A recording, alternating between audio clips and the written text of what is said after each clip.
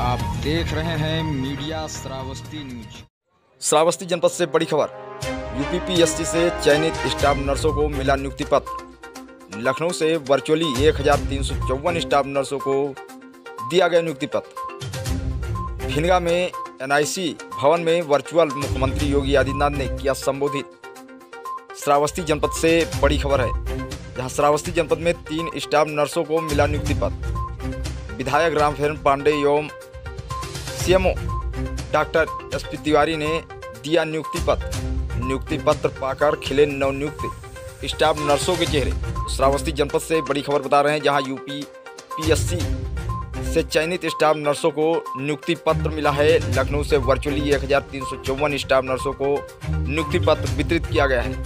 भिलगा के एनआईसी भवन में वर्चुअल मुख्यमंत्री योगी आदित्यनाथ ने संबोधित किया है।